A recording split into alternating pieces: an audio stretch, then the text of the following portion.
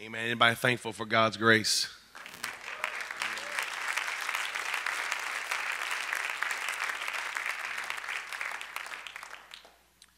Amen. When you when you hear it on the album, it, it sounds a whole lot different than that. Um, but the words are the same. His grace is enough for me. And uh, you can't run too far, you can't go too deep. I know that a lot of times in, in the age that you're in right now, you feel like that you may have made mistakes that you can't come back from. Uh, but when you get my age and you, you've lived uh, a little bit of life, you'll understand that there's no mistake that you can't come back from. Amen. There's no mistake that you can't come back from because His grace is enough. It's enough. It's going to catch you, it's going to carry you, it's going to keep you. And uh, you may have made mistakes. I'm sure, I'm sure every one of you have. And in our view, in, in our earthly human view, you know, it may be bad or great, but to him, you know, he's no respecter of person. And to him, it's, it's a failure. You know, he, he sees it as a failure. He sees it as a sin, and that's why he died on the cross. And to not only recover you, but to restore you. Amen. And his grace is enough. I want to uh, speak to you today, uh, and and I've, I've, I've kind of thought about this uh, for several weeks now, leading up to this day in this moment. Like, what would I teach in this in this setting? and what what would I say to you that would impact you the greatest? And I'm always teaching. Uh, you know, I teach at my church a lot, and so I have I have a lot of lessons that I could teach and a lot of things I could say. But this morning, I want to uh, just turn your attention to 2 Peter chapter 1, and I'm going to begin in verse 1. 2 Peter chapter 1, beginning at verse 1.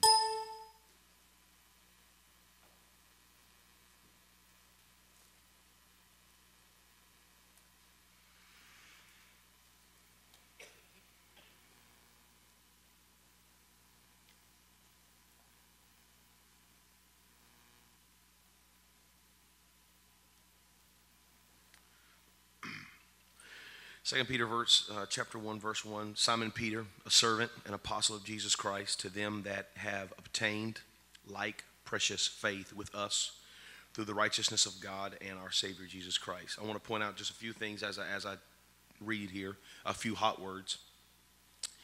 To them that have obtained like precious faith with us through the righteousness of God and our Savior Jesus Christ. Grace and peace be multiplied unto you through the knowledge of God and of Jesus our Lord, according as his divine power hath given unto us all things that pertain unto life and godliness. Somebody say life and godliness. Through the knowledge of him that hath called us to glory and virtue. Somebody say glory and virtue. Whereby are given unto us exceeding great and precious promises that by these ye might be, I want you to uh, pay close attention to this, this concept here. By these, that ye might be partakers of the divine nature. You might be partakers of divine nature. Having escaped the corruption that is in the world through lust, and beside this, giving all diligence, add to your faith Somebody say faith. Virtue. Somebody say virtue. And to virtue, knowledge. Somebody say knowledge. And to knowledge, temperance. Someone say temperance. And to temperance, patience. Somebody say patience. And to patience, godliness. Somebody say godliness. And to godliness, brotherly kindness. Someone say brotherly kindness. And to brotherly kindness, charity. Somebody say charity. All right. For these things be for if these things be in you and abound, they make you that ye shall neither be barren nor unfruitful in the knowledge of our Lord Jesus Christ. But he that lacketh these things is blind and cannot see afar off, and hath forgotten that he was purged from his old sins. Wherefore, the rather, brethren, give diligence to make your calling and election sure. For if ye do these things, ye shall never fall. Okay. That last phrase right there is, uh, for me, a very hot phrase in the Word of God because uh, the way my brain works, uh, my brain works very literally. Uh, and I like to read the Bible from a literal perspective. And when I read things, I see it in the literal sense. And so Peter says here, if you do these things, you will never fall. Well, I have an issue with this. And my issue with this is, is that we are human beings and we are like genetically predisposed to fall. Born in sin, shaped in iniquity. Everyone among you have sinned and come short of the glory of God. You, you, we, we are all in this thing called life, and in this thing called life, we not only have the potential, but almost predestined to fall. So, how can Peter say that if you do these things, these few things here, you will never fall? So, as a as a student of the Word of God, and I may have said this here before, but I'll say it again because I, I, I like redundancy. Um, some of y'all are like uh, Mac geeks, and you're like Star Wars geek. I see a Star Wars shirt. It's very easy to pick them out. Uh, Star Wars geeks, or you, you know, you, you you're geeking on something. You, you geek. Well, I'm a Bible geek. Okay, and I don't say that boastfully or trying to, oh, you know, well, he's. No, I thoroughly enjoy the Bible, and I like reading it and trying to. I like trying to figure it out. And I like to take a, a portion of scripture and do a good exegesis on it and try to break it down point by point. And when I read something like this, you will never fall. I, I, I got to jump into it. How, what can I do in my walk with God so that I'll never fall? Is that not the, the ultimate goal here? Is to walk with Him and, and, and live with Him and, and have uh, a place where I can get to in Him that I will never fall. Because if you tell me that I'm going to live for God for the rest of my life and I'm never going to be at a point where I'm not stable and sure and, and foundationally sure, and I'm never going to reach a point where I can have confidence that I'm, I'm, I'm not going to fall, I have a problem with that as well. But from my, you know, upbringing and my teaching and my knowledge of the Word of God and my knowledge of who God is and what God is and who I am and what I am, I understand the concept that I will at some point in my life fall. And I have. And I feel like I will continue. So when Peter says, if you do these things, you'll never fall. I want to know what those things are. What are those things? So today, I'm going to teach you how to never fall. That's legit.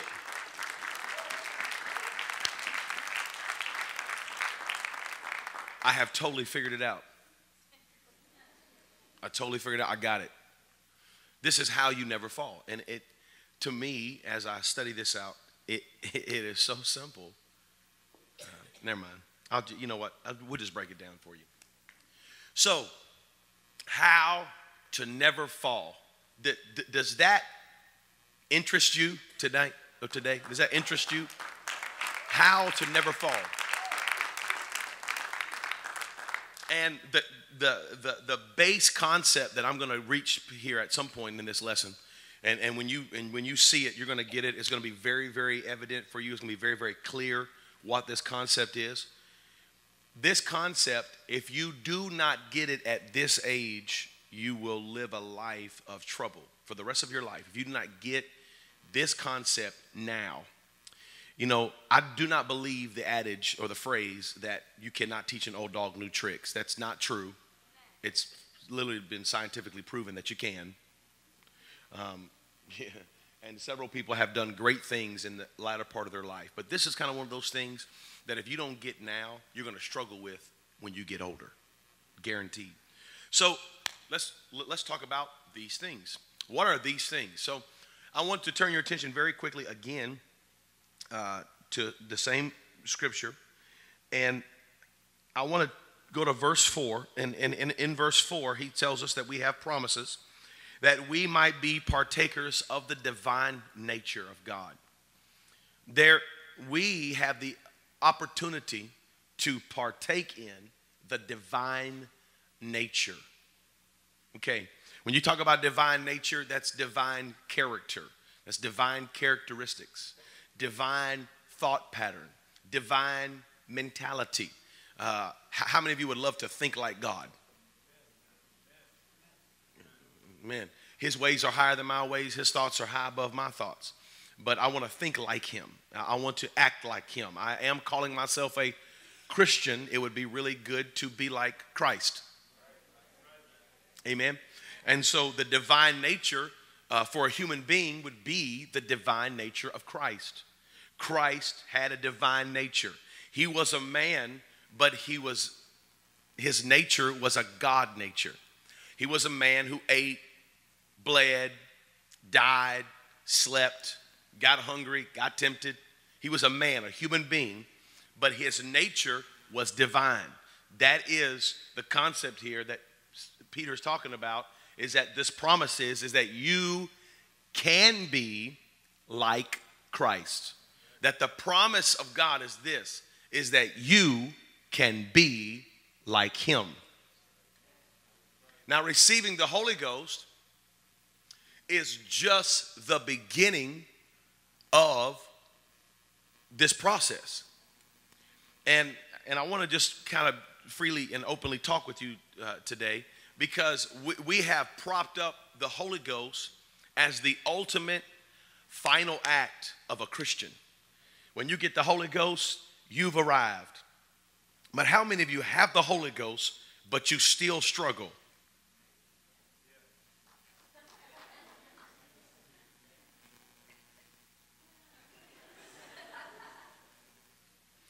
Of course. So, just by common sense knowledge, we know that receiving the Holy Ghost doesn't fix everything. Doesn't.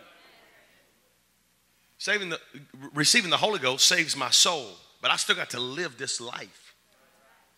Amen. And receiving the Holy Ghost does not magically make me better. Doesn't magically make me um, more uh, uh, able to uh, just become a, a great person. I, don't receive the Holy Ghost on Sunday, and Monday night I'm preaching a conference. I know some of us would like to do that, but it don't work that way. And thank God for that. So, this is what there's eight concepts here, eight concepts that Peter goes through in line and in order. Again, I read the Bible literally and apply that in a literal sense, okay? There's eight steps here that Peter goes through after this verse 4. In verse 4, he says that you might be partakers of the divine nature, having escaped the corruption that is in the world through lust. Verse 5, and beside this, giving all diligence, add to your faith. So everybody say number one is faith. You cannot even begin a walk with God without faith. For if any man would please God, amen, he must first believe that he is. Amen. You, you have to believe. You know, somebody said, you know, all you got to do is believe to be saved. Well, that's true and also not com- a complete thought, okay? But you do have to believe. Amen. Do not ever frown on somebody who says, I believed, because they have taken the first step. You have to believe. When Paul was talking to the Philippian jailer, which is a very, very uh, good scripture that a lot of people who do not believe in the necessity of Holy Ghost will take you to the story of the Philippian jailer and say the Philippian jailer never spoke in tongues, so he was saved. Well, I don't have any evidence that he didn't. Just like you ain't got no evidence that he did. So I can't study the Philippian jailer because his story is vague.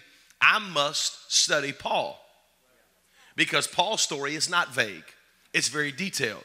So in early Acts, he meets the Philippian jailer. He tells the Philippian jailer, believe. The Philippian jailer said, What must I do to be saved? He said, Believe, believe, and be baptized, and your whole household will be saved. So the Bible shows us those steps. The Philippian jailer believed, they went home, his whole household was baptized, and they rejoiced. And, and that's the story that we have. Because the Philippian jailer did not believe, he had to first start at belief, right? Go a few chapters later, Paul, because we're following Paul now, we're not studying the Philippian jailer. He's a vague story. We have to study Paul. Paul is the unvague story. So we're following Paul now. Paul goes to Ephesus. He meets 12 men that are learning of God. They, they are disciples. They've already been baptized into John's baptism. He asked them this Have you received the Holy Ghost since you believed?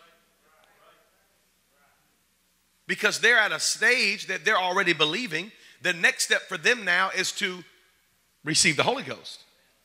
I can't study the Philippian jailer, it's a vague story. The clear story is Paul. Paul says to them, Have you received the Holy Ghost since you believed? They said, We don't even know. I mean, what's the Holy Ghost? So Paul's like, Okay, there must be a step missing here. How was you baptized?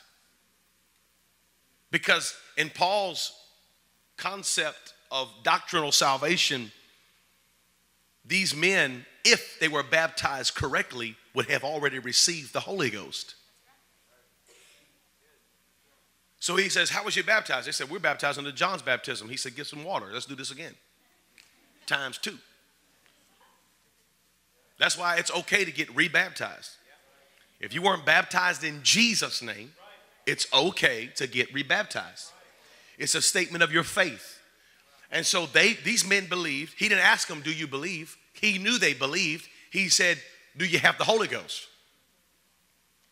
He said, Yeah, we haven't heard of it. Well, they were baptized in Jesus' name, and then Paul laid hands on them, and they all received the gift of the Holy Ghost. Right? That's faith. Somebody say faith. faith. Ladies and gentlemen, if you have received the gift of the Holy Ghost, if you've been baptized in Jesus' name, you've had faith, congratulations. You're at step one. That's awesome, right? Step one is like legitness. And if you're there, that is amazing. But can I tell you that if you remain at step one, you will fall. If you just stay at step one, you will always fall. It'll be a vicious cycle of falling. You will continue to fall. You will not live a life that is pleasing to God. You will not live a life of morality because the next step, he says, add to your faith virtue. Now, virtue is described as general morality, just basic goodness, basic morality. So, we see this a lot in the church. From a leader standpoint, I see this a lot when people first get the Holy Ghost. They first get the Holy Ghost they, before they have a Bible study, before they, you know, before I can sit down and tell them these things are wrong, whatever, you know, they'll, they'll come and say, Pastor, I quit smoking. I gave it up. Well, I didn't tell them they had to quit smoking. There wasn't, a, we didn't have a non smoking Bible study. He said, Pastor, I went home, I poured all my booze down the toilet.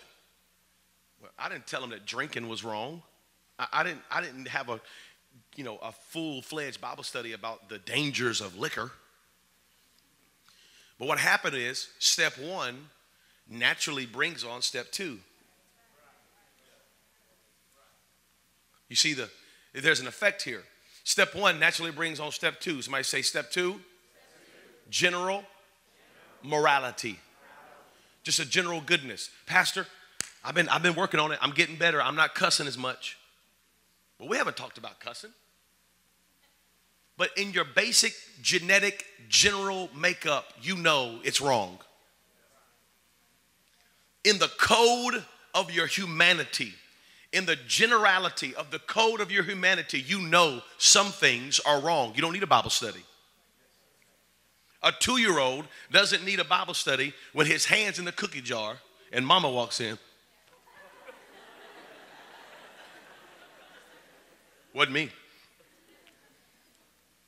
It's in his code. He knows stealing cookies is wrong.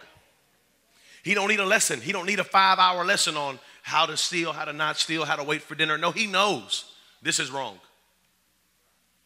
It's general morality. And faith basically gradually brings you into a general morality. That is why when you see people that have no morality, they have no morals, they have, they have no direction and no litmus for any kind of, of, of good living as we would see it, just as a human being, you know those people are totally devoid of faith. They are devoid of the faith of God. Because if they believed in God even a little bit, it would direct their path. Because faith brings on general morality. But then the third, everybody say step three. I'm, I'm gonna try to finish today. Step three, knowledge. Add to your virtue knowledge. This is basically, at its finest, catechism. Some of y'all was like, what? I mean, let me break it down for you in a word you can understand. This is basically indoctrination. This is basically Bible study. Read and learn. Let me just say this to you that if you have faith and if you have a basic grasp on being a good person and you have no knowledge, you will fall. Why do you believe what you believe, sir? Why do you believe what you believe, ma'am? Can you give me one scripture on the oneness of God outside of Deuteronomy 6 and 4? Can you give me one scripture on the necessity of salvation outside of Acts 2:38? What your pastor quotes every Sunday. Do you have any knowledge of who you are, what you are? Men, do you know why you are to be holy in your mind, in your spirit? Do you know why your modesty is unseen? That your modesty is in your heart, you don't wear it, you live it? Do you know why? Do you have the knowledge of why? Ladies, do you have a knowledge of why your modesty means so much? Do you know why? Do you have scripture? Can you go to the book and to the scripture and show me where the Bible talks about women being modest? If not, if you can't do that, you must be sitting here so upset right now that you got to dress like you're dressing.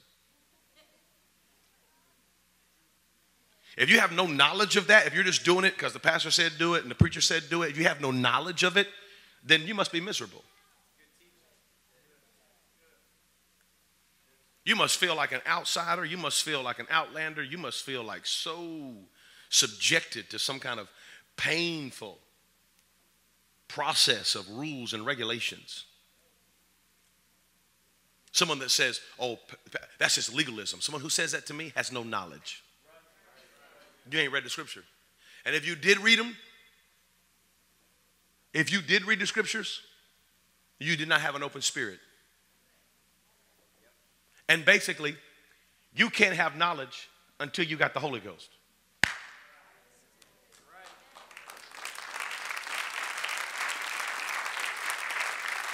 I'll prove it to you. I'll prove it to you. Oh no, no oh, wait, wait a minute, Pastor Chavis. I know, I know, you know, monks that, that, that can quote this Bible better than me. I mean, you, they have knowledge of the word, but they don't believe what we believe. Of course, they don't believe what we believe. They have no spirit. Because the Bible didn't say theology will lead you into all truths. The Bible didn't say the pastor will lead you into all truths. The Bible didn't say that the Bible school will lead you into all truths. What did it say? What did it say? The, the Spirit will lead you into all truths. So I have no argument with people that do not have the Spirit but have knowledge why they don't see what we see. I got the Holy Ghost, I got the Spirit. The Spirit has led me into all truths. That's why you can't see what I see. That's why you can't read it like I read it. That's because you, you don't have a revelation, you have a rule. You don't see it as revelation, you see it as reg- regulation. But when that regulation becomes revelation, you'll say, oh, wow, I see it now. I, I get it. And not only do I get it, but I receive it. and I apply it to my life. Knowledge. Listen, church, young people, get understanding. With all you're getting, get understanding, get knowledge. I may have said this here last year, I'll say it again. If you have never read the Bible from beginning to end and have a full grasp of what the Bible is speaking and saying, do not read other religious books.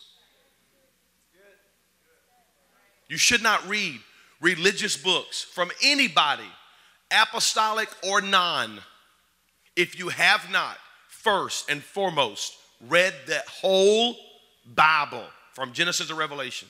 Not only read it, but have an understanding of it. You know why? Because every book written about the Bible is based off the Bible. And if you don't have a foundational knowledge of the Word of God, you might read something in a book that messes your whole thinking up. But if you have an understanding, somebody said, well, you know, you got to, you know, eat the fish, spit, the, spit out the bones. Okay. What if nobody ever told you how to spit out the bones? What if you don't know what a fish tastes like? What if you don't know how a bone feels like? You have to have a basic knowledge first, right? Well, how can you have a basic knowledge of the word? Why are you reading religious books and you've never read the book that the book that you're reading is reading uh, now has been written about? I read other people's books all the time. But I have a basic foundation of the Word of God. So as I'm reading, I'm like, nope, that ain't right. Good concept, but it doesn't fit into a biblical setting. You know, it's a, you know it, it, it makes sense as a human, but it doesn't make sense as a Christian because I have knowledge. Stop trying to prove people wrong that do not have the Holy Ghost. Stop debating on Facebook, please. The people you are debating do not have the Spirit so they can't see the truth.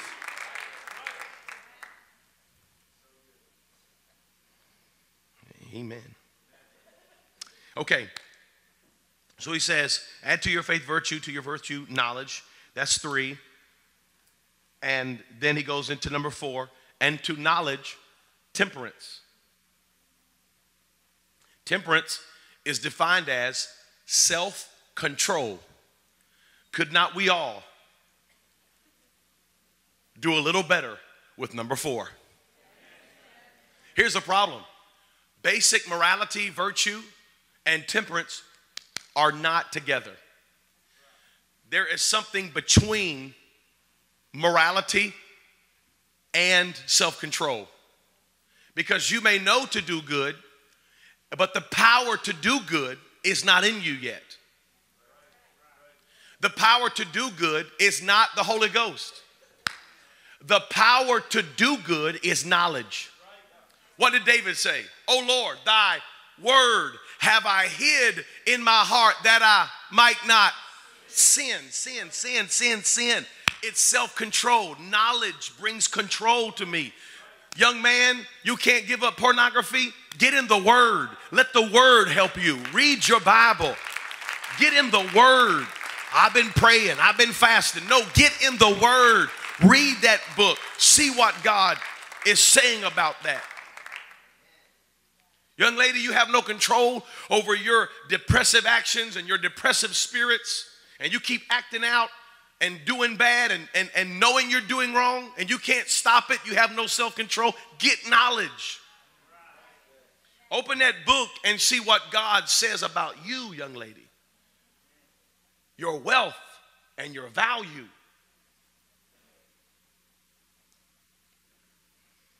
You have no self control because you have no knowledge. We are begging people. We're begging people to have self control. We're begging people to, to have control of their life and they don't have any knowledge. This is a struggle as, as a leader.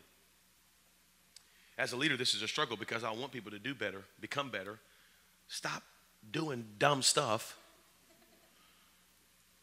And then, but I have to step back and say, wait a minute, do they have knowledge?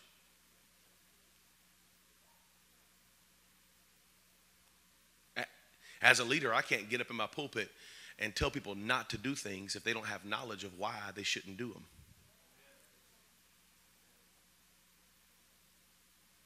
I find it very difficult to preach against things that I haven't taught about.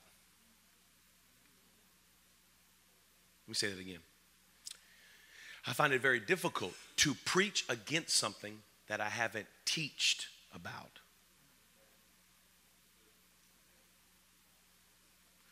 Teaching precedes preaching. Well, God chose the foolishness of preaching to save them that believe. Yes, He did. And if, and if, if, there, if there could be another scripture, it'd say, and God chose teaching to keep them that believe. Because preaching is for saving. You're saved. What now? You need knowledge. Because if you don't have any knowledge, you're not going to ever have self control. Ever. You're never going to be able to control your lusts and your desires. You're never going to be a partaker of the divine nature. Because the only way to conquer and to have divine nature is to be free of the world through lust. And if you have lust in your heart, lust of the eye, lust of the flesh, the pride of life, if you have those things in your life, you will never gain control over those things without knowledge, learning, indoctrination, catechism. We have to have these things in our lives. Listen to me, young person. Stop depending on your pastor. Stop depending on your youth pastor to indoctrinate you. Get in your Bible and indoctrinate yourself. Read it. Get you an app and read it every day. Read it every day. This is a process here. This is a process. Number five is patience. And to knowledge, self control, temperance. And to temperance, patience. Everybody say patience. patience. Patience is number five. Number five is the number of grace. Thank God for grace. Because it was in patience that God gave me grace. He, he had patience with me. And so it is in the fifth step of my walk with God that I learn how to be patient. However, patience is, in, is defined here not so much as how we define patience. When we see patience in the Bible, you know, the phrase, you're getting on my last nerve, comes to mind. You know, I'm God working on my patience. But patient, patience in this setting, in this uh, uh, setting here is, is, is more than just, uh, you know, you're getting on my nerves, I need to be patient with you. It, is, it means loyalty and commitment. You see, this is something that we lack in the church. In the church of God today, in my church, in your church, we lack loyalty, we lack commitment, we lack long term people. Now we can blame it on culture as long as we want to. We can keep doing that. Well, you know, it's the times, everything's fast moving, everybody's busy, and blah blah blah blah blah. blah. I got game, blah blah blah blah blah. blah. Hush, hush, hush. The problem is, is that you missed a step somewhere. And most of our misstep is knowledge. But I'm asking people to be faithful to the house of God, faithful. I'm asking people to be patient to the house, loyal to the house of God, patient, loyal to giving, patient, loyal, and committed to the vision that do not have knowledge. They don't have self control at home, in private. They have no self control. So, how can I, as a pastor, expect them to be loyal? They're not even loyal to their own selves. So, every little fleeting thing in life runs them away. They're tossed to and fro with every wind of doctrine. All it takes is a sniffle to stay home. This is, this is real life. All it takes is we got in late last night, Pastor, so we're missing service today. What? You got in late? I was at the hospital at 3 a.m. and I'm teaching and preaching today. But you got in late. My bad, you know. We didn't get to bed till midnight. Don't even go to sleep till midnight. It's funny, but as a pastor, this is what the stuff you hear. You're like, are you serious? Pastor's a long week. I'm just really tired. We're going to stay home today. We'll watch online. I want to block them. I don't know how I can do it, but I want to block them. You can't watch online today. You don't get no Jesus today. You don't deserve Jesus today. It's a common theme in our culture, in our church culture. You know why? Because we have no knowledge, we have no self control, so therefore we have no loyalty, we have no patience, we have no continual commitment to the same thing. You show me people that are in their word, reading their word, they have knowledge, they have self control, they're going to be there. Thick and thin, hell and high water, rain, sleet, snow, they're going to be there. They're showing up. I listen, I, I get that life happens and you get sick and kids, I, I get all that. And every Sunday, I have that at my church. Every Sunday, every Sunday. But there's always those same three or four people there's just something, there's something going on, you know, it's always something. And it's like, you know what? At some point, you're going to run out of excuses. Or you're going to use the same one again and again until I'm, you know, and I'm, for me, it, it doesn't bother me as much as it bothers some people. I'm totally fine with it. I'm, I'm like, hey, you know, this is, this is your walk with God, not mine. I'm not your dad, I'm your pastor. I'm not, I'm not your daddy. I'm your, I'm your pastor. I'm, I'm not calling you on Sunday afternoon. Where was you at today? I'm not doing that. I'm not doing that. Now, if you miss three or four Sundays in a row, I may call you and say, Are you dead or alive?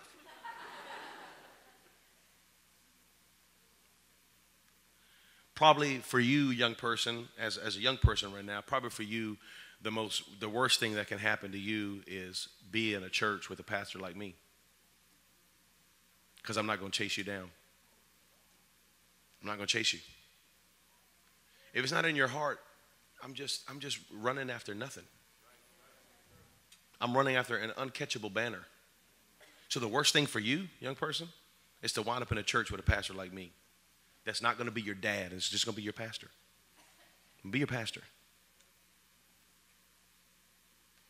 Pray. Pray your pastor cares enough. I mean, it's not that I don't care. It's just I'm going to let you be grown. I'm going to let you be an adult. I'm going to let you make your own decisions. There's some people in my church that struggle with that.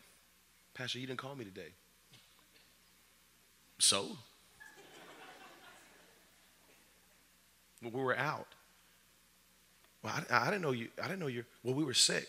I, I didn't know. Well, I posted on Facebook.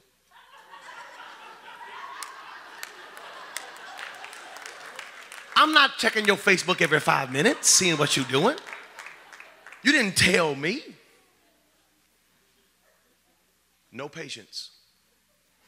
No patience. This is going to bleed over into every part of your life, not just church. It's going to bleed over into your marriage. No commitment. No, no understanding of commitment. You get mad at her, you're going to leave. Guaranteed. I'm sitting with people in my office right now. Why y'all wanting to get a divorce? I'm fed up with her. Well, what she's done, she, she makes me mad. My God, man.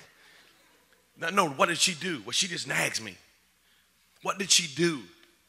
Well, she, she's always on my case. What, what did she do? What did she do besides be a woman? What, what else did she do? It's the truth. Well, he hadn't talked to me. He hadn't talked to me in three days. He ain't said nothing to me. He ain't told me that he loved me. He, he didn't tell me I was beautiful. what has he done besides be a man?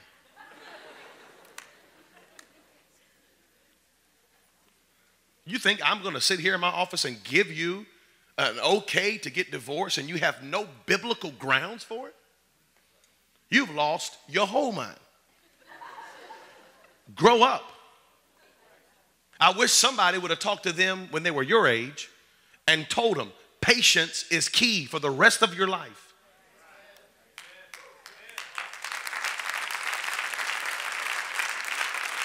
For the rest of your life. Because patience is grace. Those two people have no grace for each other. They have grace for their kids, they have grace for their coworkers, they have grace for everybody, but they don't have grace for each other. He has no grace for her. No grace. She can't say anything. He has no grace for her. He can't say anything. They have no patience. They have no grace. It's going to bleed over into your job.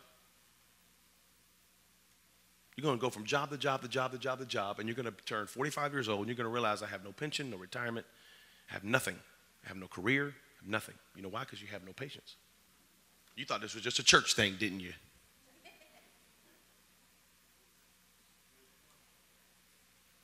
to patience, godliness.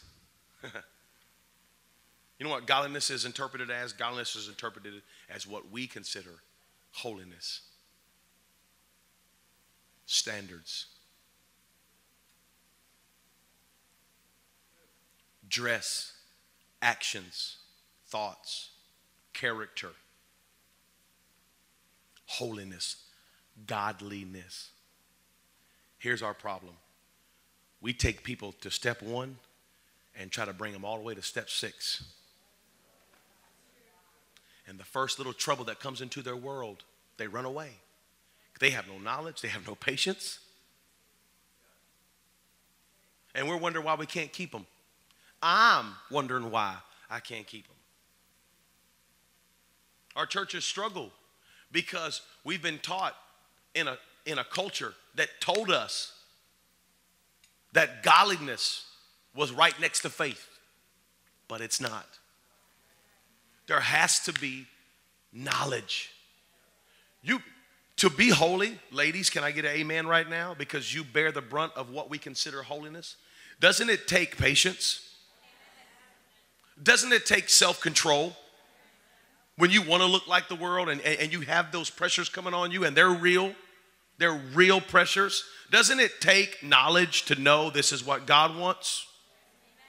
Doesn't it take a, a temperance and self control to say, no, I'm not going this way, I'm not doing this, this is not what God wants for me? Doesn't it take loyalty and patience? So, why would I tell a brand new young lady? Why would I tell a brand new young man, this is what we do, this is how we dress, this is how we act, and he has no knowledge, he has no patience, he has no temperance? I'm, I'm ruining him. Godliness is step six. Anybody know what the number six is? It's the number of man. Because step six is where you conquer the man.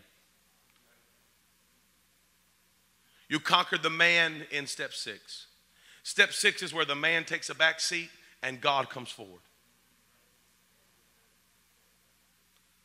Young ladies, you're not just showing your holiness, but you're showing your godliness. It's when you step back and God steps forward. Young man, you're not just showing your holiness, you're showing your godliness. It's when you, as a human being, take a step back and God steps forward. And when I look at you, I see God.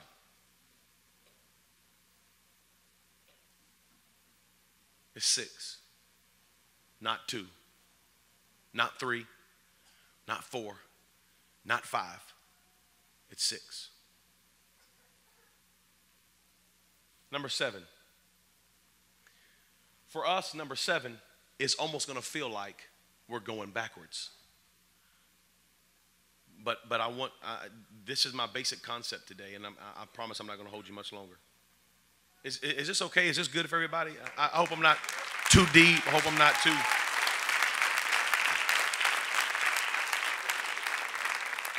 I don't, I, I, don't want you to feel like this is a lecture today. I, I, I feel like I'm lecturing right now. But, but, but I want you to grasp this concept at your age, the age you're at right now, because if you grasp the concept that I'm preaching at your age right now, the church 20, 30 years from now will be so much better than what it is right now. It's great right now. But if God tarries for 30 years, we're going to see some stuff that we're not ready for right now. We're not ready for that right now. Number seven, somebody say number seven is, is, is the number of completeness. Seven days in a week. God rested on the seventh day. He was complete. He was done. He backed up. Say, ah, this is it. You know. Number seven is rest. On, on, the seven is Sabbath. You rest on the seventh day. You, this is rest. And seven is brotherly kindness. The word used here is Philadelphia, which is brotherly love. Brotherly kindness. Now, for me and you, we're like, wait a minute. Oh, you, I mean, we went through faith and virtue and self-control, temperance and knowledge and, and, and even, even holiness and godliness. Even holiness and God. And now we're at brotherly love. I mean, I feel like that's an early step, right? To love each other. But, but, but listen to me. We, we cannot be, you cannot truly love me without holiness.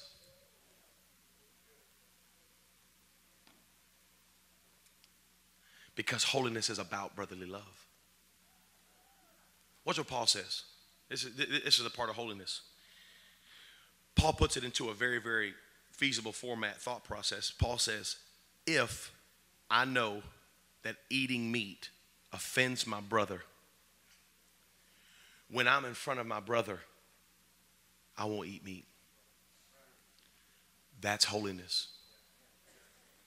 Ladies, if I know showing my body in a certain way causes my brother to stumble, holiness. Men, if I know that my attitude and my ego offends my brother, I swallow my pride. Holiness. I would that men would lift up holy hands everywhere without wrath and doubting. That's ego. And I would that women would dress in modest apparel and live in modesty and sobriety. Ego, that's holiness. I would that men would be worshipers and that women would be modest. Holiness. If I know that going to a certain place would cause confusion for my brother, I'm not going there. Well, you can go. You're an adult. Go. I, I know I can go. All things are lawful. All things are not expedient. All things are lawful. All things not a good idea. Why? You're not going to fall. I, I'm, I'm not going to fall, but it might make my brother fall. Holiness. This is brotherly kindness. This is not agape, which is number eight. This is not agape. I'm going to do seven and eight together because number eight, which is newness of life, newness, brand new, a new beginning. Number eight means new beginning. It's the first part of the, of the new week. It's the brand new day. When you, when you get to eight, we're starting over. This is brand new. You cannot be brand new in God, and you cannot have charity, which is interpreted agape, which is love for the world, if you do not have love for your brother. So what? So what? This is this is this, when in my full understanding of this study, and I didn't read this in a book, ladies and gentlemen. I'm not I'm not saying this to be boastful. I didn't read this in the book. I didn't pick this out of someone's message somewhere. God gave this to me because I was on a personal journey to find out how to never fall.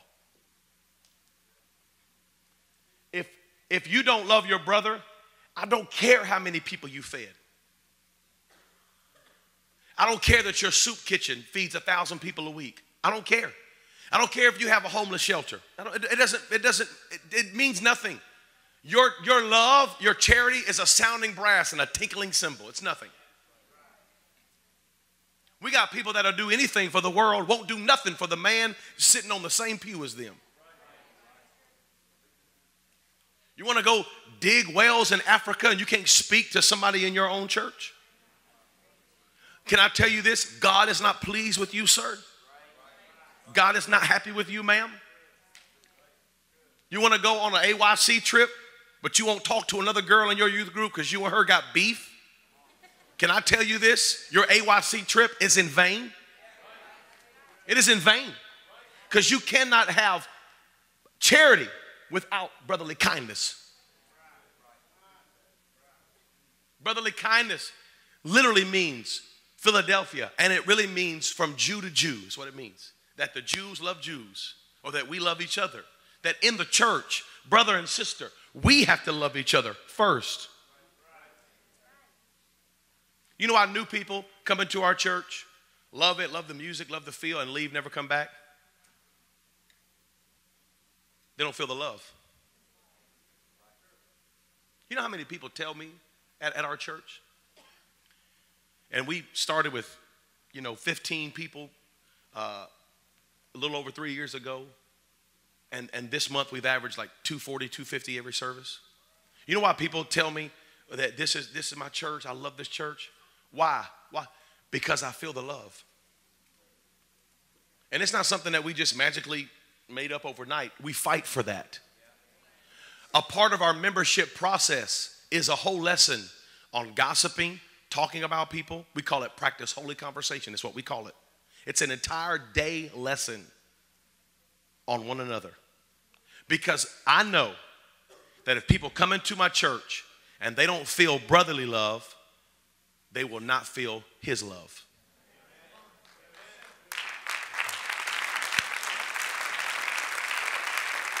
I'm not, listen, I'm not pulling this out of thin air. I'm not pulling this out of thin air. This is what Jesus said. For they will know that you are my disciples because of your suits and ties. They, they will know that you are my disciples because of your long hair. They will know that you are my disciples because of the length of your skirt.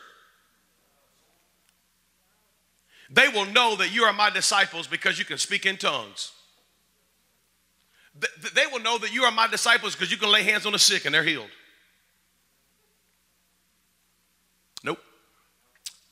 They will know that you are my disciples for your love one to another. They will watch how you interact with each other. And when they see that you genuinely love each other, they will say, These are the people. These are the people we've been looking for. This is where we need to be. Honey, get the kids. This is the church we need to be in. Honey, crank up the car. We're going to church today. We're going down here to this church. They love each other down there. They care for each other down there.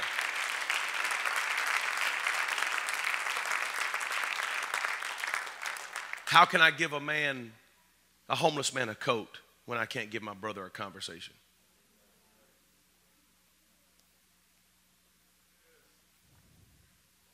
This is how to never fall. This is how we never. He said. He said. Is what he said. He said, if you do these things, you'll you'll, you'll never be unfruitful. You'll never be barren. you, you, you, show me a group of people, a youth group, a church that's barren, that, that has no fruitfulness, no life, and, and I'll, I'll show you a church where there is infighting. I'll show you a church where there's division. How can a kingdom divided against itself stand? It's destined to fall. We've missed this. Young people, let me speak to you as an adult in some ways. My generation has missed this. We, we struggle with this. We talk about each other over dinner tables, we tear each other down sometimes it's almost exciting for us to hear that a brother has failed. You, you, you have to do better than, than us.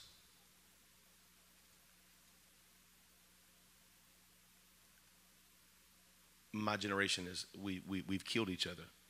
The devil didn't have to do nothing. I say the devil's been resting for a good while now building up his strength for the end time. And he's watched the church destroy the church. He's watched us stab each other in the back. He didn't even take his knife out. We've, we've hurt each other deeply. And so there's no trust, there's no camaraderie. And if you find it, it's rare. If you, if you find camaraderie, it's, it's really rare. It's, it's like, whoa, this pastor's friends with this pastor and they're in the same zip code? Whoa, that's crazy. It's crazy. You mean you and this guy play golf together and some saints from your church has left and went to his church, some saints from your church left and went to his church. You guys are still friends? Yeah, they're not my sheep anyway. It's, it's, it's rare.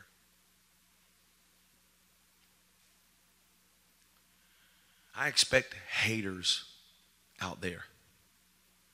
But it's hard when you got haters in here. Haters in here hold a, hold a whole different kind of weight.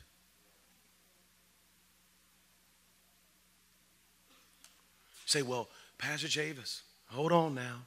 Judas betrayed Jesus. I know. But Judas was possessed by the devil. What's your excuse?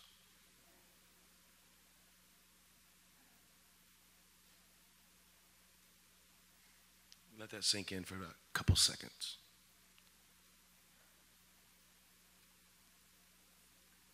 Don't use Judas as your litmus test for betrayal. He was possessed by the devil, and the Bible says Satan entered him.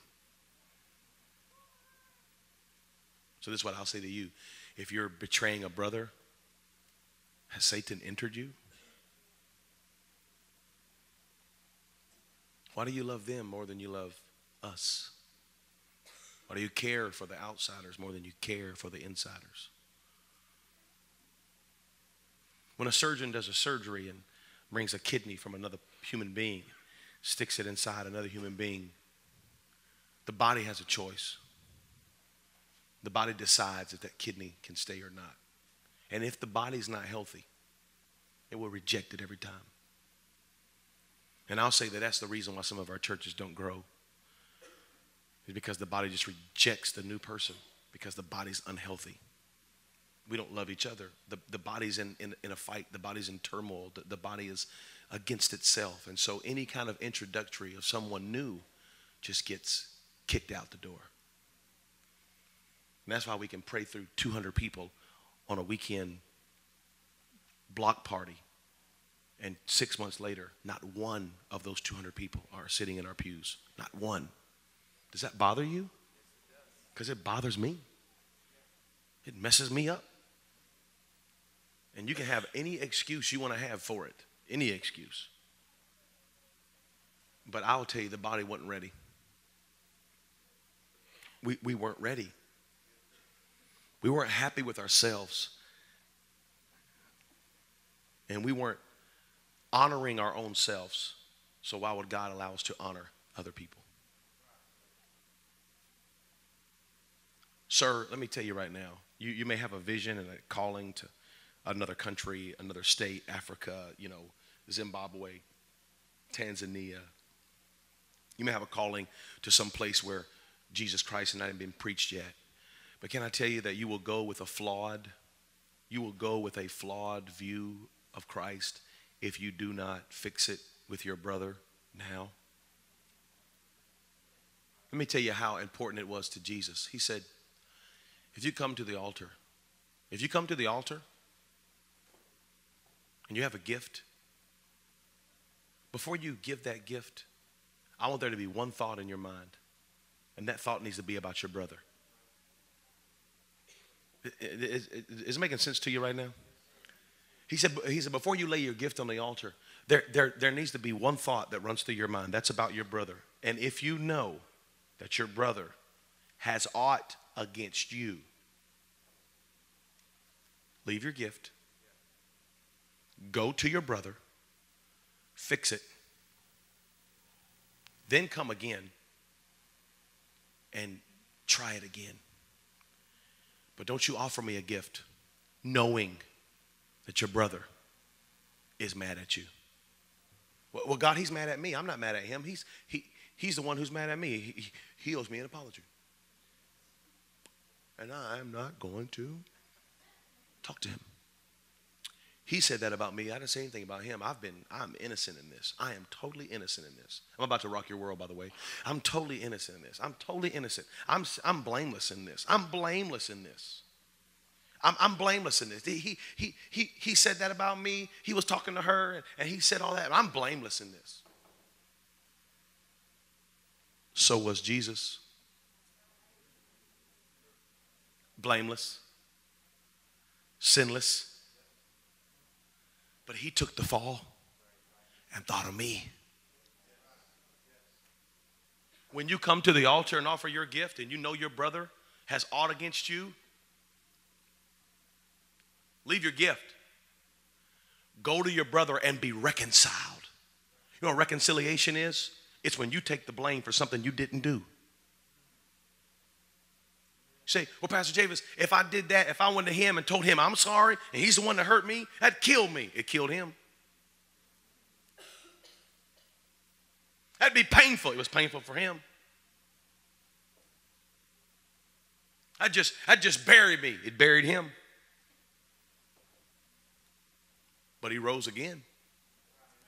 And not only did he rise again, but he rose with all power. I would say to you that there may be an anointing and a ministry waiting on you attached to an apology. Let me say that again. There may be an anointing and a ministry waiting on you, but it's attached to an apology. And when you can say, I'm sorry, God says, I can trust Him with this anointing. I can trust Him to reach the lost. I can't trust you to reach the lost if I can't trust you to love your brother. I need two strong guys right now, two, two strong young men to just step up here. D- don't lie, you know you're strong. Come on. Here we go, right here, right here, right here. So, y'all, y'all, y'all both want to come on this side, want to come on that side. Yeah, just that's, that's good right there, right there, right where you are. From step one to step six, you're not involved with my walk. From step one to step six, my brother is not involved with my walk. It's, it's maybe leadership, pastor, teacher. But my brother is not involved with my walk with God. From step one to step six, it's all about me. I got to get from one, and I got to conquer man.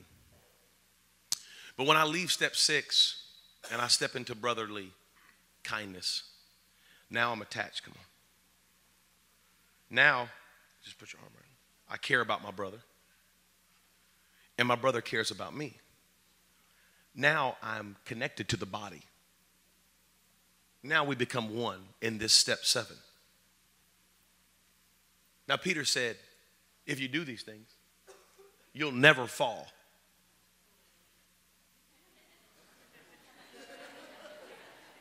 He's getting it. He didn't say that you wouldn't stumble. He didn't say, if you do these things, you never get weak. He didn't say, if you do these things, you'll never grow tired. He just said, if you do these things, you won't fall. I got a word for this generation. I got a word for this generation. It's time to bind together with your brother and your sister and say, hey, we, we may be weak and we may struggle, we may mess up, and we may get tired, but I refuse to let you fall. You may stumble along your way, but I refuse to let you fall. You may grow weary in well doing, but I refuse to let you fall. You won't fall on my watch. I'll go find you. I'll knock on your door. I'll get you out of bed. The pastor won't have to call you. I'm going to call you. Before the pastor ever picks up the phone to find out where you were, I'm already at your house saying, Hey man, are you good? Are we good? Can I pray with you about, you know why? Because I'm connected to you. You matter to me. You matter to me. If you matter to him, you matter to me. And let's together go help the world. Let's together go reach the lost. Let's together.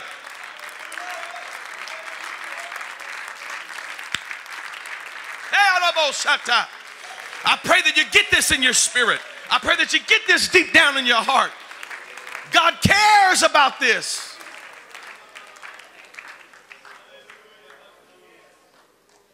Remain standing. This is important to God. But more than that, it's important to you. This is how you're going to make it. You ain't going to make it on your own. Some of you have isolated yourself from your friends in your youth group. Can I tell you that is the first step to backsliding? Do not isolate yourself. I can almost tell you with almost 99% assurity that what you're thinking is wrong. And if you would just communicate, you would find out that what was said or what was done, whatever got you messed up, isn't as bad as you think it is. Just communicate. Go to them and say, hey, I heard you call me this. And whatever I did to make you call me that, I'm so sorry. Recently, I had a pastor, a friend of mine, say some things about me. He said it on a, on a forum that other friends of mine were on. I was called immediately. So and so said this about this is recently. I'm a grown man. This is recently. Hey, do you know this guy? Yeah, I know him. He's a friend of mine. But he, he was on here saying this, saying that. I was upset. I, I, was, I was angry. I wanted to make a phone call. I thought about it. But then I thought about this lesson. My lesson that God was teaching me. Said, okay, God.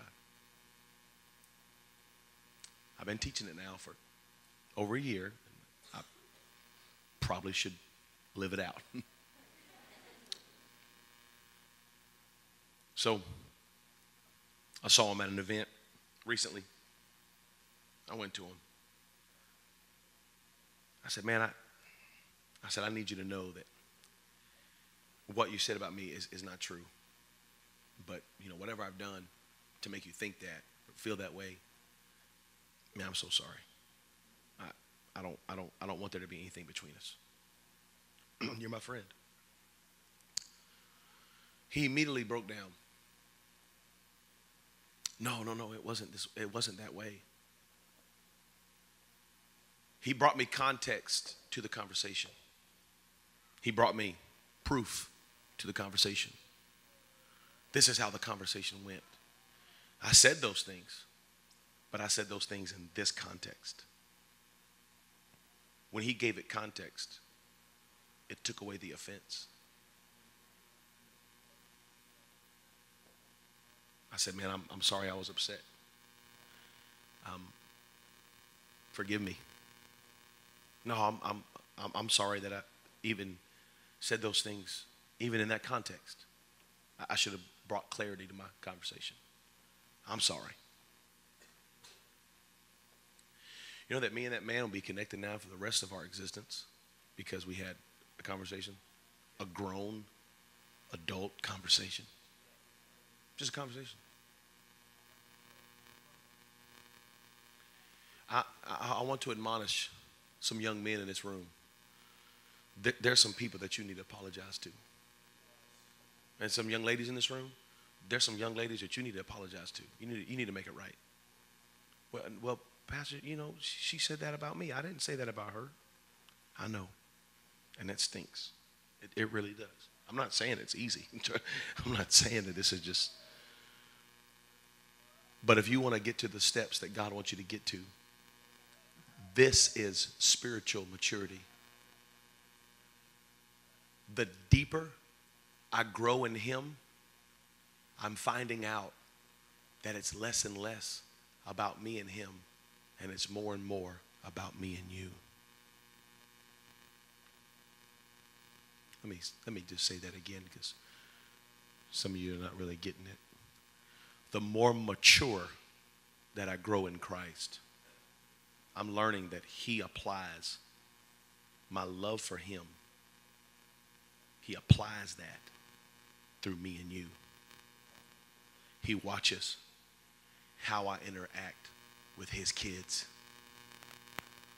And when I see you as his kid, it changes how I see you. You want to prove to me you love me? Love my children. You, you want to show me how much you care about me? Care for my kids. There's a small group of people in this world that I trust my kids with. It's very small. But those people that I trust my kids with, I trust my life with because I know I trust them on every level because I trust them with my kids. Can God trust you with his kids? Because that person that you're so mad at right now that you're even thinking about not even doing what I'm preaching today, you're like, there's no way I'm doing that. Can I tell you that that person is God's kid? That He died for them, He loves them. Well, Pastor, they called me a fool. Even the more reason. Because He said if they called you a fool, they're in danger of hell fire. Go save them. They're going to go to hell. They're going to go to hell because they're mad at you. Go save them. Go fix it. They're in danger of hell fire. If you know your brother is standing on the precipice of hell fire, would you not reach out to him? Reach for him and say, Man, come, come. I don't want you to go to hell. Let's get this right between me and you. Let's fix this. I- I'm sorry. And I know we're not running house today shouting. And, and, and, and this may not be the, the greatest lesson you've ever heard in your life, but I promise you it's one of the most important. If you'll get this, your churches will be better, your families will be better. 13 year old, 14 year old young man right now, if you can understand this concept, your marriage is going to be better. Learn how to forgive, learn how to move on, learn how to repent, learn how to love God's child. Your marriage is going to be better. Your college years are going to be better. Maturity in Christ is more about me and you than me and him. For they will know that you're my disciples when they see how you love each other. Every head bowed, every eye closed. I need you to pray right now. I need you to pray for yourself. God, I feel you in this room right now. There is an intense presence of the Holy Ghost here. And I know that feeling that's in this building right now. It is that same feeling that was in the upper room when they were in one mind and one accord and unity was there.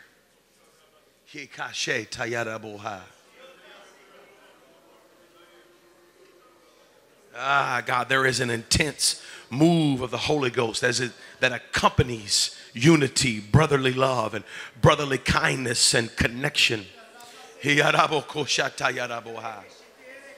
Come on, I, want, I need you to pray right now, young lady. God, help me.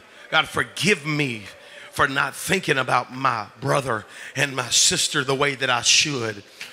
God, I thought being mature was just walking in holiness, but I see now that being mature is walking in unity, walking in togetherness, walking in humility with my brother, God. God, being subject one to another.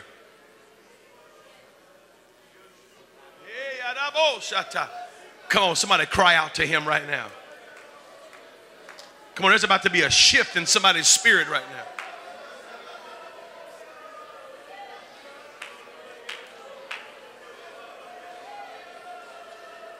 Hey! Hey! Come on, there's a spirit of unforgiveness that's about to be broken in here. There's a spirit of unforgiveness. If you're in this room today and you have a spirit of unforgiveness, God is talking to you. He said, I forgave you. You messed up on me so many times, and I forgave you. You walked away from me so many times, and I forgave you. You hurt me so many times, and I forgave you. You talked about me, and I forgave you. Will you forgive your brother? Will you forgive now? Will you forgive? I still love you. I still, I still care for you. I still hold you up. That's what I'm asking you to do. That's what I'm asking you to do. Be like me. Take on my divine nature. Take on my divine nature. The divine nature of God forgives when there's no room to forgive. The divine nature of God cleans when there's no reason to clean. The divine nature of God. Come on, take on that divine nature today. God, show me that divine. You promised me that I could be a partaker of the divine nature. Help me forgive. Come on, I feel the Holy Ghost. There's a shift in this room right now.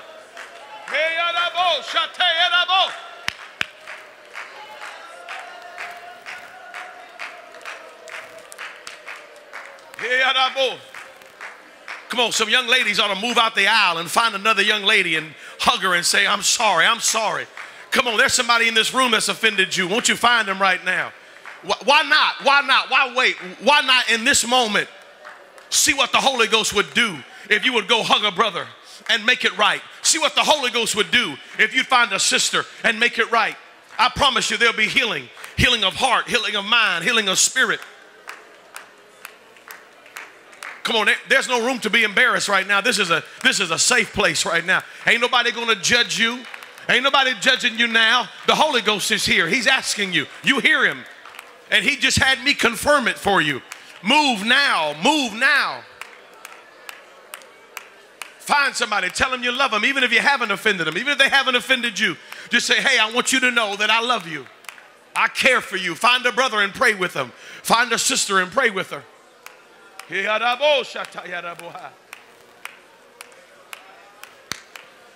Come on, there's going to be healing in this room today. There's going to be healing in this room today. Some of you are going to find out what it is to walk in spiritual maturity. You're going to find out what it is to walk in spiritual maturity. Sir, if you'll get this now, sir, if you'll get this now for the rest of your life, if you'll get this now, young man, if you'll get this now for the rest of your life, uh, you'll know what it is to walk into godly maturity. Young lady, if you'll get this now, if you'll get this today, if you'll figure this out today, you'll walk in spiritual maturity for the rest of your life. I love you. I'm sorry that I said something about you. I'm sorry that I held aught in my heart for you. I love you. I love you.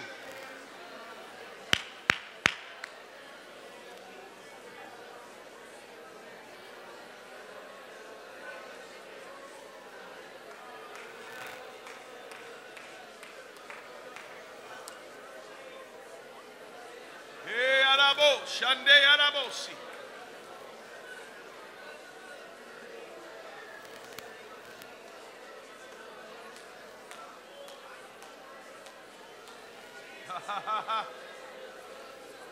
Come on, somebody, make it right today. Make it right today.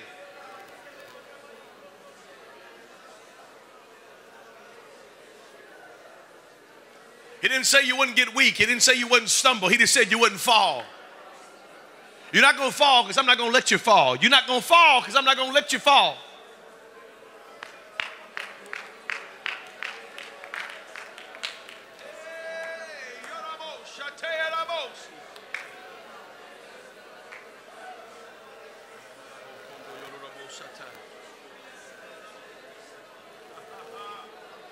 Yes! Come on, there's a healing in this room. I feel it. I feel it. There is a healing in this room.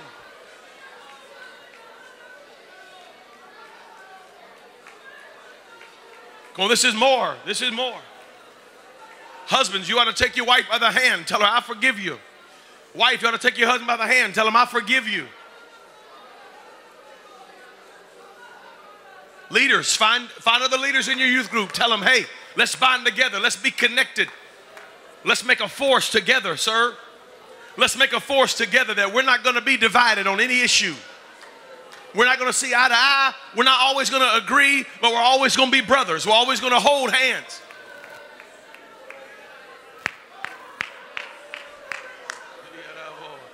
Come on, leaders, find the leader.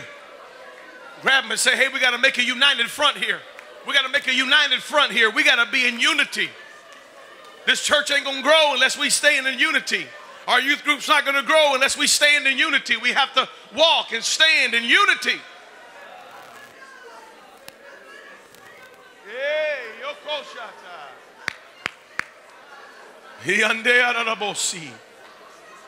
Well, the devil don't want this. The devil don't want this. He's had us so mad at each other, so confused with each other, so at odds for so long. He's taking a break. He's going to have to go back to work again. He's going to have to start fighting again because we're going to be unified. We're going to be connected. It's going to be harder to make someone fall because brothers are holding them up. Yes, that's it. I see youth groups getting together. I see youth groups binding together. That's good. Let's bind together. Let's hold hands. Let's be connected. Let's unify. Let's see the same things. Let's have the same vision. Come on, if me and you can walk together. How can two walk together unless they walk in humility and humbleness? Not only do I love you, but I submit to you. I submit to you. I submit to my brother. I submit to you.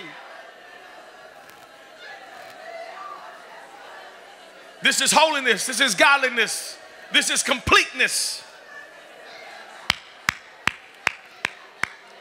Yes, yes, yes, yes.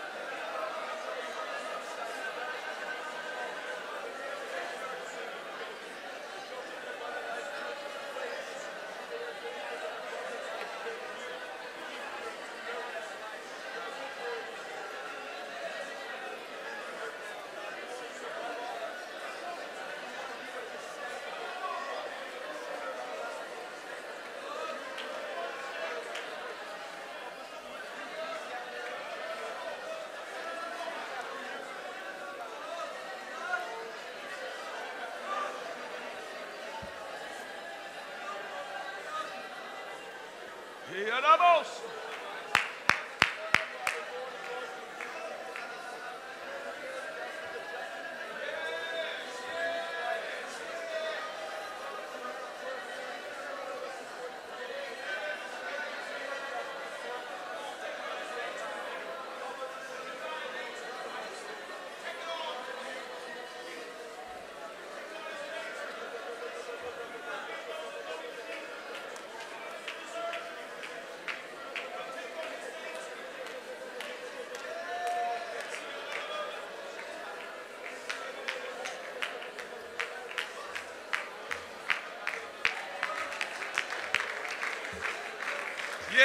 Yes, yes. Come on, take on the divine nature of Christ today. Take on his divine nature to forgive those that aren't even worthy of forgiving, to look past pain that's too great to bear. Take on his nature today. Take on the divine nature of Christ. Forgive those that don't deserve it. Forgive those you don't want to forgive. They mistreated you. They done you wrong. But you said, Father, forgive them, for you they know not what they do. That's divine nature.